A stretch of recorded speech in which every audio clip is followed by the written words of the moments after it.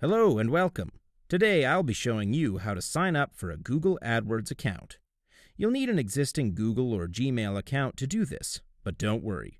If you don't have one, you can easily create one for free at www.gmail.com. All right, let's get started. First, go to www.google.com/adwords and click on this Start Now button. It will then take you to this page, where you can enter in your Google account email address. So I'm just going to enter mine here.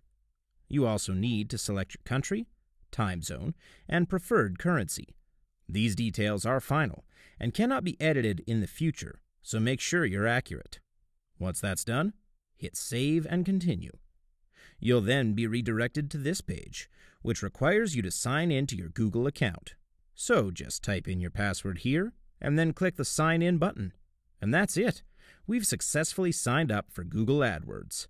And now, you're free to start creating ad campaigns for your videos and websites.